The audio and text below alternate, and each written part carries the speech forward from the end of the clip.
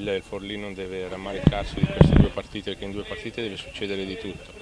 Noi potevamo fare meglio in un altro periodo sotto tutti i punti di vista, quindi quando giochi partite di play-out andate e ritorno può succedere di tutto. Noi siamo usciti immeritatamente con un pareggio a partita di andata che dovevamo vincere, oggi abbiamo perso meritatamente che il fan è, stato superiore, però ridursi, ripeto, a giocarsi tutto in due partite dopo può succedere di tutto. I ragazzi hanno fatto il massimo, io credo che abbiamo fatto un buonissimo lavoro in un campionato durissimo,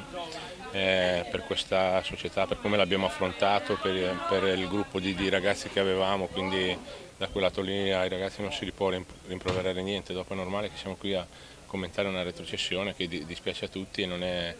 non è semplice, però ripeto, nelle condizioni in cui siamo partiti e tutto abbiamo rammarico di, che potevamo gestire meglio due mesi, però ripeto lì andiamo a fare poi discorsi che in questo momento non hanno senso. L'abbinazione, la voglia, il crederci, il crederci sempre attraverso tanti sacrifici, se guardiamo da dove siamo partiti che eravamo a meno 5 dal, dall'Ancona